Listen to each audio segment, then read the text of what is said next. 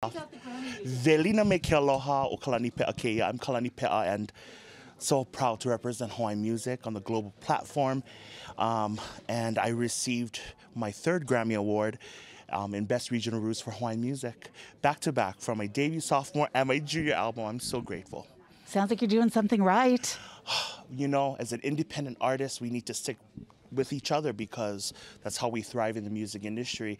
We own our own music, we collaborate, and I think collaboration is the key to success.